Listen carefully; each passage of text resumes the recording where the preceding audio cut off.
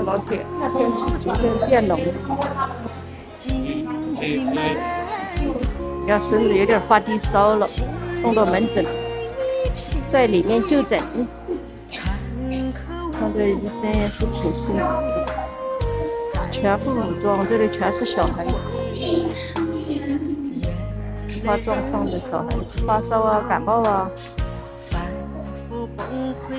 不让出来嘛，非要出来，一出来了，天气这么凉，你说，阴天，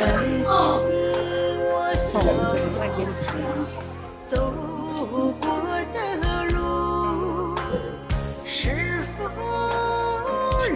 没有太阳，不是，天气还是挺冷的。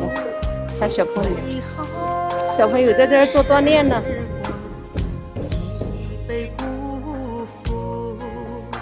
成都的天气没有西昌的好。